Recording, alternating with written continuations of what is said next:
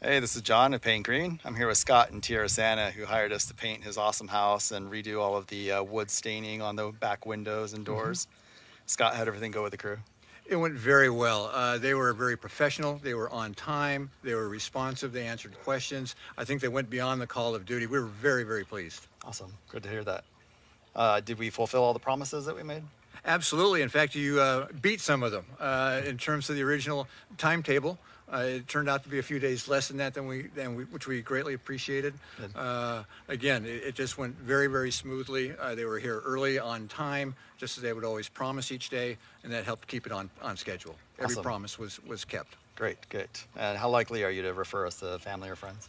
Well, it'll probably take about a week. Uh, our next door neighbors uh, wanted to see how it went, and I can assure you that it's going to be a, a PaintGreen that I'm going to recommend uh, up the street, right and uh, we'll continue to do so when I have the opportunity. Great. Thanks so much, Scott. My pleasure.